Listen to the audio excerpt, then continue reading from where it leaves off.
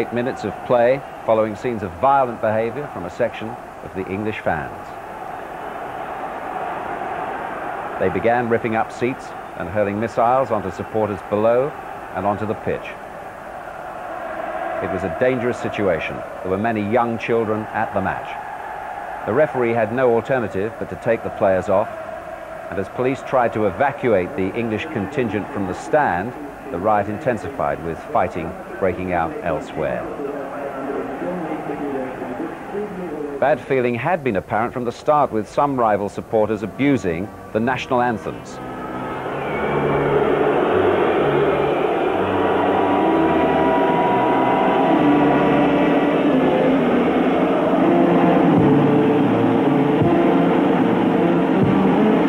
But the real trouble began shortly after David Kelly had scored for Ireland to give them the lead.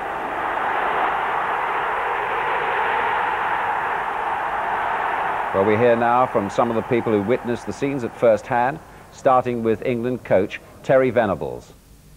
Well, it's it's such a um, a surprise, really, and such a bitter blow to what we're trying to do and trying to achieve, and looking forward to 18 months' time to the championships. There's there's no words to describe it or what I feel about people like that. Um, and it's an it's an embarrassment to everybody. But on top of that, uh, a lot of people could have got hurt, and uh, I just I have got no words to describe what I feel about it. It's a disaster. This I, I hate this. We've never had anything like this in this country. We've never created anything like this abroad. It's it's when I play for England, I've never experienced anything like this before. And I've seen a lot in football, but I've never seen anything like that. And then the game was abandoned within 15, 10, 15 minutes of getting off the park. They came and told us they'd abandoned the game.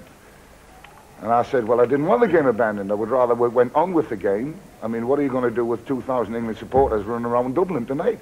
Clearly there are 30, 40, 50, maybe 100 people here tonight who've taken it upon themselves to come along to, to pull sticks out of the seats, to endanger the safety of people all around them, and generally to spoil everybody's enjoyment and uh, to, to, to cast a blight over, over English football once again. And uh, you know, it, it really seems to be never ending. We can't drive these hardcore people out of the game, and it's it's very distressing for everybody who who, who, who works for football and works in football. It's distressing for the players, obviously, and for the supporters, the genuine supporters, and for everybody connected with the game. Were you happy with the ticketing arrangements? I've no, I've no adverse uh, comment to make about the ticketing arrangements. I mean, if, the, if there's anything we wish to say about that, we will say so, but I've no, no comment about it at the moment, I'm afraid, Ray. I know it's a very initial reaction, but with the European Championships next year, what do you fear UEFA's view might be of this? Oh, I don't think they'll be awfully happy, obviously, but uh, we, we will have to satisfy them that we have the situation under control in our own country and in our own grounds. Hopefully we will be able to do that, but uh, obviously we will have to assess what happened here uh, carefully and calmly in the cold light of day. During your preparations, were you aware that there might be a pocket full of troublemakers here tonight? Yeah, I think we're always aware of that. We work very carefully with, uh, with, with, us directly with the English FA, and our police forces have worked directly with the police forces over there. We are fairly happy that things are going to work out for us. There's always a possibility something will happen, and unfortunately, we have a few bad eggs out there who cause problems. We're not going to be on the back pages for football tomorrow. We're not going to be. You're not asking me questions about football, and that's wrong because that's what we've come here to Dublin to do, um, to prepare for the European Championships. Who knows what repercussions um, are going to happen now? what can we say? We're, we're, we're professional footballers and I want to see football played on a rectangular pitch and, and, and not outside it. And unfortunately, we keep having to fall back into answering questions about what's happening off it. Uh, I mean, uh, the behaviour of uh, both uh, sets of players uh, were immaculate. The referee acted very quickly and got them off fast, so there was no danger there. But it's the people in the crowd and, and, and what they look at. I mean, you, you do think it's organised. I can't really say too much because I don't know to the extent of what's happened, and I would be shooting in the dark a little bit. But um, I don't know what it's done to us. I'm not. I, I mean, I'm really, really upset about it. You must be very frustrated too. Here we are building towards Euro '96. It's not even that. I can't even think about the football at the moment. I mean, it's just so sickening. We are now going to be involved in a, in a long, hard tussle about whose fault it was and where and what repercussions are of it. And, and uh, there will be many. I mean, that's why you're all stood here like this, all wanting stories. You, have got loads of stories. You'll love it for the next fortnight. you'll have a ball. Are there implications for Euro 96? I've no idea. Not as far as we're concerned. We play the North here, but I guarantee when the North come down, they will behave themselves, and we will behave ourselves. And there'll be no, there'll be, there'll be none of that with us. Never has been. I think everyone's ashamed tonight. Ah, listen, listen. Every Englishman should be ashamed of what went on there tonight. Ray Stubbs putting the questions. Well, Jimmy Hill and Alan Hansen were with us tonight to enjoy a game of football. Now it's become an inquest into this wretched hooligan business again, Jimmy. Everybody expressing disgust, and it was disgusting, but the solutions are a bit more difficult to come by. I haven't heard any solutions yet. No, I, I think the first thing um, on which we probably agree is that it was premeditated and it was organised. I mean, that those things don't happen by accident, and there was nothing there to inspire it if it hadn't been uh, premeditated. Uh, the, those people went there looking for trouble and looking to incite trouble. England going a goal down had nothing to do with it in. If it, some, they depict some moment. It's a disease of our society, and it's outside the influence of football, in my opinion, to stop that kind of behaviour. We should be ashamed of it. We, people of my age are certainly ashamed of it. Uh, but there's nothing we individually can do about it. Governments can do something about it, and society can. It's no use keep casting the blame at football's door.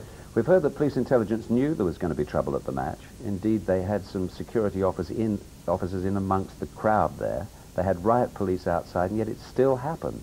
Do you think the police was, were perhaps a little bit naive in their approach to it, or I, th- there's never been a history of any that kind of violence in Ireland. Quite. And although they were expecting something, I don't think they expected the avalanche that, that eventually happened.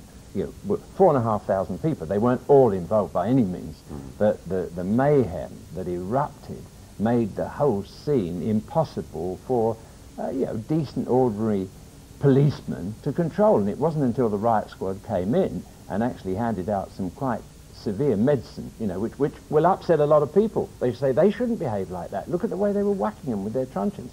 But, I mean, either society makes up its mind that it's going to, uh, you know, take the action that will bring an end to this kind of thing, or we stop worrying about it and just say, well, that's, that's what it's like living in this country or in any country at this time. I basically agree with that. I think that uh, the Republic is the last place you'd expect any sort of trouble. But their record's wonderful, isn't It's- it? it's in fantastic. sport, both home and away. and I, Yeah. you know, up till a week ago, I thought the dark days of the violence and the thuggery had gone, but obviously that's wrong. But football cannot admit defeat to this problem. I think it's better than it was 10 years ago. And if it means more cameras, more security, more police, more intelligence, and more resources, let's have them. Because we cannot admit defeat. And I I agree with Jim. I think it's, it's on a broader basis. I think this is a law and order problem. Yes. And I think the courts should have wider powers to impose stiffer penalties. And let's stop feeling sympathy for the perpetrators of violence. Let's feel sympathy for the victims. And, and we've got to eradicate this problem. You see, closed-circuit cameras did a great job, really, in, in identifying those who are guilty. They're still there. I mean, they're still there in our grounds, and they still should be used, and the, and the punishment should be handed out. That's one thing. I mean, I would like to see identity cards in this country. If you're talking about what should we do, um, eh, you know, innocent people, why should we worry about carrying identity cards? Well, they do in help- most countries in Europe, don't they? yeah, I mean, yeah, for everyone. I mean, I've no resentment of that at all, and it would help. But I also think passports should be withdrawn of known offenders. I mean, if these people are saying, oh, we knew there were known offenders going there tonight and people going to cause trouble, for goodness say, why don't we just take their passports away from them and say, you stay at home when the England team or any other team is playing abroad?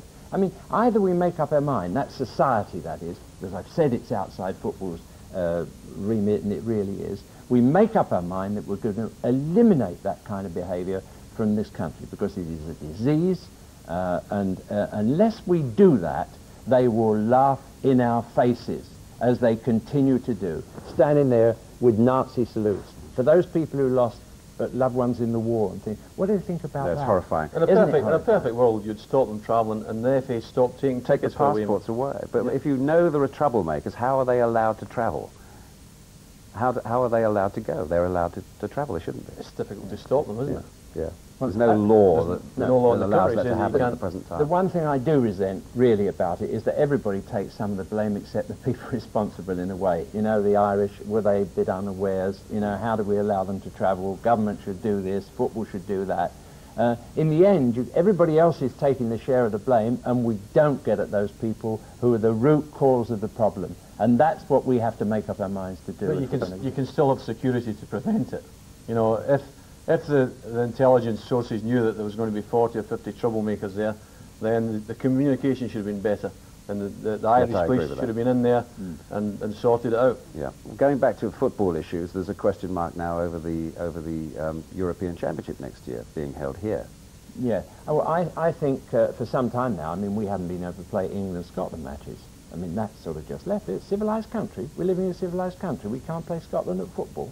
I mean, it's, it's unthinkable, really, but we've all It's accepted, happened. we've all accepted that now. But when it comes to a major sporting event, I think the European authorities will realise that England, with its modern grounds, with the, well, the practice it's had at dealing with the hooligan element over here, will cope with it quite well. And I'm quite sure in the end it will go ahead and there won't be any trouble. Never any problems at Wembley, is there? You know, when England play at Wembley, never any hint of trouble. And I think that'll be in England's favour. Thank you for the moment. Sorry we had to discuss it once again. the stadium was um, wa- was emptied very quickly in a very orderly way, and the Gardaí then went about the business of cornering the people who were responsible in a most professional way, and I must pay tribute to them. It was clear, of course, that riot police were on duty, and the National Criminal Intelligence Service, who monitors the activities of football hooligans, have told us tonight that several weeks ago they warned that disorder was being planned and passed that information on to the Gardaí. Well, that is possible. I'm not too sure of what happened in the whole area of security. Uh, but the history, uh, the last time England played here, we had um, serious incidents also both around the ground and in our main thoroughfares after the match. So I, I suppose it was natural that we would expect some trouble, but the scale of violence tonight was indeed frightening. And it does raise major questions, as I said, about how people, certain people got tickets. But it does raise a question also about the safety of fans that would be going to the European Championships next year. Well, finally, I wanted to ask you very briefly about that. Do you think uh, England's ability to host that has to be called into question? Well, I think the English authorities are very responsible people, and I know that they will face up to this decision in a very responsible way. I, I would let that to them to decide. Bernard, thank you very much for joining us Thank you. into tonight's events. Well, it's shocking. It's something that is brings a disgrace on all of us, even even though even, the very good supporters, because it's attached it's a slur on our on our country, and, and it's really dreadful. And I think there are a number of questions that need to be asked, and I share very much the uh, views of the Minister for Sport from Ireland that there needs to be a very immediate look into how this could have happened, how many of these people who are known to be thugs who have gone along to English matches before were able to travel.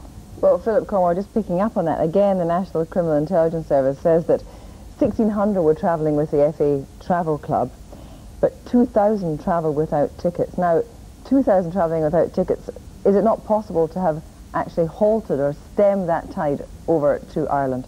Well, we've just been hearing in other news bulletins about the possibility of lowering the b- border controls between various countries in the EC, and the problem of just putting them up, I mean, to cross from the nor- Northern Ireland into the Republic of Ireland is very easy now, and so quite how they would actually manage to stop people, particularly those who don't have criminal convictions. One of the big problems in the past has been a tendency among overseas authorities to round up anybody who they suspect of being involved, and rather than trying to get convictions and evidence, they had simply deported people, and so most people who have been involved in these activities don't actually have a record, so you can't ban them. Well, John Williams in Leicester, you have made a study um, of organised hooliganism on football grounds and indeed presence of far-right cells.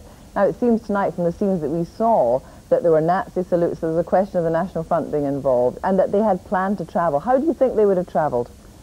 Well, they would have travelled uh, through the, the many outlets which are available to get to Ireland. It's not a difficult place to uh, to get But to. would they have travelled as a group, or do you think they would have had split up knowing that they were going to come together to cause trouble? I think they'd have gone individually and uh, and in small groups too. I mean, it's it, it's it's no surprise given the the current political situation in Ireland and given what the NFIU and other police organisations know about the loyalist connections with some uh, some football hooligans. There's the strong far right connection with England stretching back uh, a long way.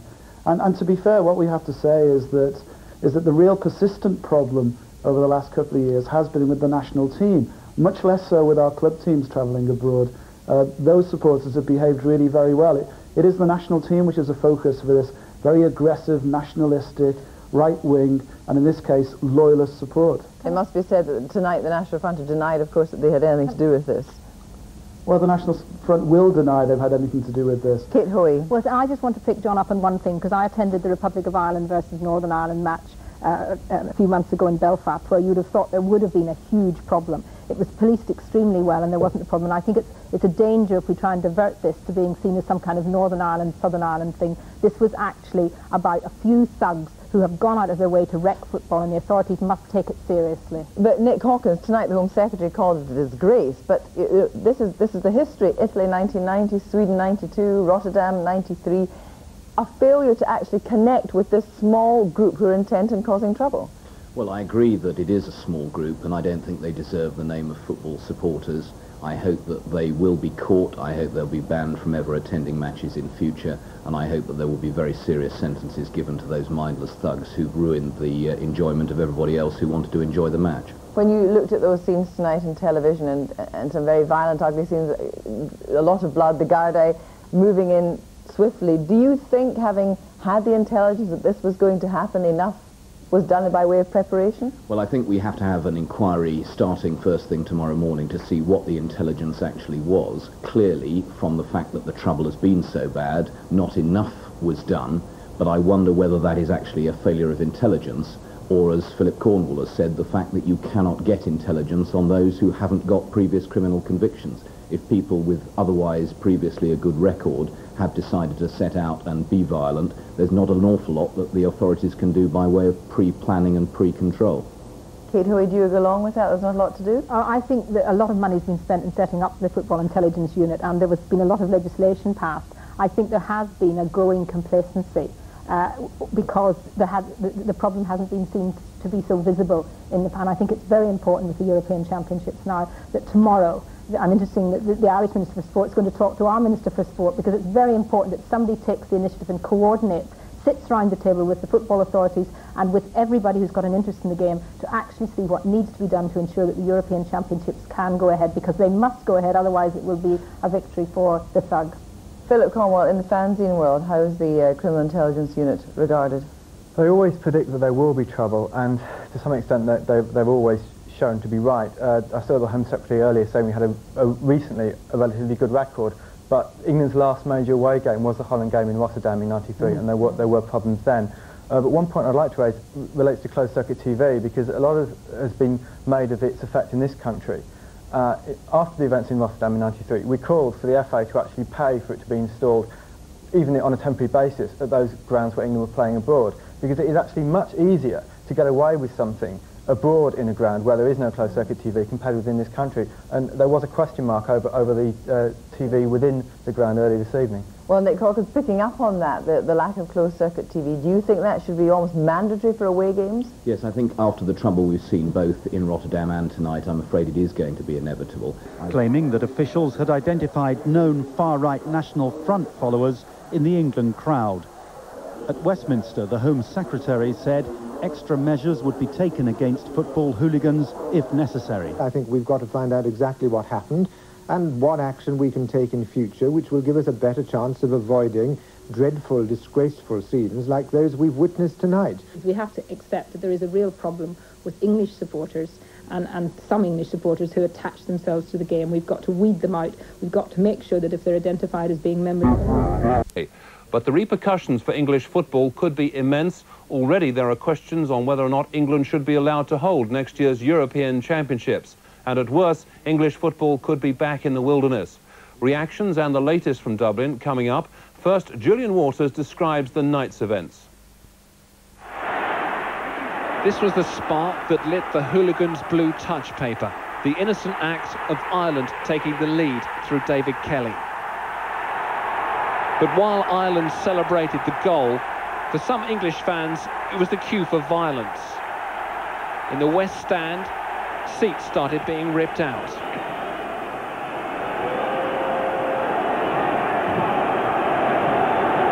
Dutch referee Dennis Jol ordered the teams from the pitch for their own safety after 27 minutes. Amid the worst scenes of violence associated with the national team since the European Championships of 1992, the players were never to reappear. As disorder reigned in one corner of the ground, most of the players trooped off the pitch. Some needed encouragement from the referee to clear the area, and some could only stand and stare. These are the pictures being beamed around the world, once more bringing shame on English football. Tempers ran high as a period of limbo developed, with police trying to restore order to the stadium.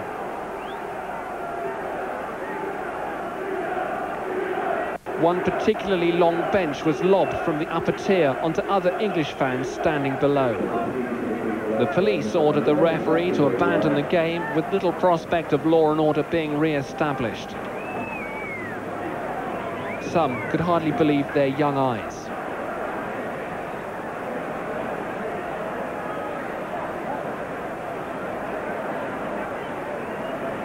As Lansdowne Road gradually emptied out, only the English fans remained. The police had the task of controlling the mob and making arrests. Serious violence developed. As usual, it was only a small minority of football followers involved, but a dreadful wound has been inflicted on the whole of English football.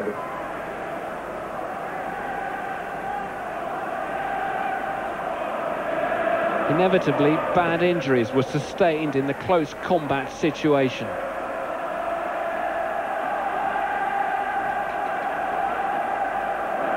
This was the first fixture on foreign soil for England coach Terry Venables, and as he left Lansdowne Road, he must have been reflecting that it wouldn't be surprising if no other country wants to play host to our national team. Julian Waters, Sky Sports.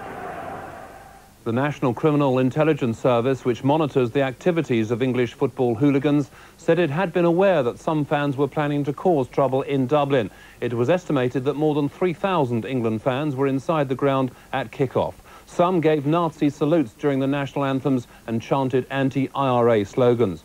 There were numerous arrests after the game, but it's thought that there were many more injuries as baton-wielding police tried to restore order. Our reporter Mark Saggers was in Dublin and witnessed the worst of the violence and gauged the Irish reaction. They were disgusted because they've never had trouble like this at any sort of, uh, not only any sort of football match, but any sort of sporting occasion. Lansdowne Road has never seen anything like this.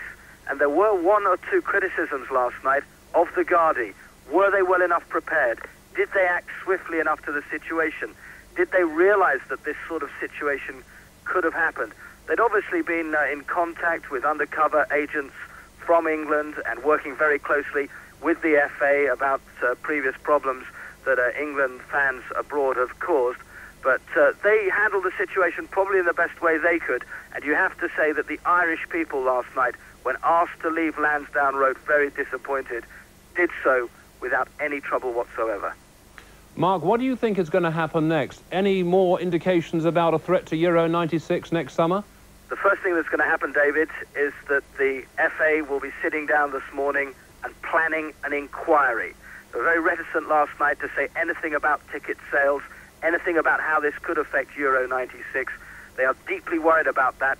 Graham Kelly was as shocked as I've seen him last night, and uh, they'll be sitting down this morning and deciding who is going to be involved with this inquiry. They'll work very closely indeed with the Football Association of Ireland, and of course they will have to work very closely indeed with UEFA. And just one other thing to bear in mind, there are British clubs still involved, with Chelsea and Arsenal coming up in Europe very shortly. There's a trip to Bruges as well, and that is now going to be a very worrying side effect to the problems that we saw in Dublin last night. And after the match, these were the reactions to the night's events at Lansdowne Road. I really don't want to talk about because I'm so mixed up and I'm so sick of the whole business. It was a, it was a smashing game. And it's about football, isn't it? Not about... Well, I think we were hoping that The whole nation is going to suffer because of two, 2,000 or whatever lunatics were mixed in among 2,000 supporters. It's, it's crazy. Absolutely crazy. my reaction is the same as everybody else. We're uh, appalled. I mean, it is a terrible. I mean, I haven't got words strong enough to describe how we all feel about this. When the missiles were being thrown down onto the pitch, did any of the players get hurt at all? No, uh, the referee acted looked to be reacting very quickly, uh, called the players off, and uh, no one suffered any injury. Were you satisfied that the game should have been abandoned when it was? I, listen, I mean, I wouldn't quite criticise anybody on a decision because the police have had to make a decision and it's a, a, a, decision of Solomon, so to speak, to know what the right thing to do. Everyone will be talking about that. Whatever they feel is right at that particular moment, you've got to go along with. They're obviously concerned with the safety of the people. You know there's repercussions maybe in some directions, but whichever uh, decision would have been made, it, a lot of people would have made it wrong. So they can't be. So whatever's been decided we've got to go along with. Is this an isolated incident, or do you think we're uh, returning to the bad old days when uh, we had uh, football hooliganism? Well, I think it takes you um, a very, very long time to get out of a of a, a, a bad thing, really. And I think, you know, five, ten years ago, we was renowned throughout Europe for the sort of things that we've seen tonight. I think what happens in in any walk of life, in anything that's good, it takes you a long, long time to get those good things going and it has done, and we seem to be stepping in the di right direction. Only two weeks ago, things happened in Italy, and the English were held up as an example to, to them of how to curb what we've seen tonight. But in one incident tonight, we've gone right back down to where we was before, and, and it, make no mistakes about this isn't just England and Ireland, this will go reverberate right through the world about us again. And like I said, we, we spent so much hard work and time trying to, to stop it, and we're back down there again, and, and it may be, how long is it going to take now to get back to where we was? The only thing I can do is criticise the people who come here to, to cause trouble, and they, they come, they cause trouble. There's 46,000 people in here tonight, and our enjoyment has been spoilt. And, uh, you know, I, I'm just very shocked by the callous disregard they have for the safety of children and, and, and other people around them. I mean, it's, it's, it's quite amazing, really, and uh, I, I, I really can't understand it. Long term, what do you think the implications are for the European Championships next year? I, I really can't answer that, Nick. You know, we're, we're talking in the middle of a very difficult situation. Uh, that question has got to be uh, asked and it's got to be answered, but I really, I really can't answer it at this moment. Um, I, I, don't think that it necessarily has implications for it, but I understand you asking it, and uh, it, it's a situation we will have to face. It's mindless vandalism and everything else. And it certainly it, it, it, ruins the good security record which we have here. I, I, was in the crowd. A lot of the people afterwards were blaming the FAI. Now, maybe wrongly so. They said that, you know, they shouldn't have allowed these fans to come here and to put them up there. Possibly not. It's something we're going to review. We, we bring fans from all over the world to our games. We bring the, the standard number of supporters that we extend to fans normally. We work with the FA. Uh, who issued these tickets to their travel clubs. They did everything, at least as far as we were concerned, to try and ensure that the right kind of fans came obviously the, the right kind didn't come, and it's a worry for us. In recent years, the English football authorities believed that they had uh, the problem of football hooliganism under control. But last night's scenes in Dublin follow three recent incidents in England, the Cantona incidents and separate crowd disturbances at Blackburn and Chelsea. Well, all these latest events would seem to signal a return to what was once described as the English disease, with football hooligans causing havoc across Europe.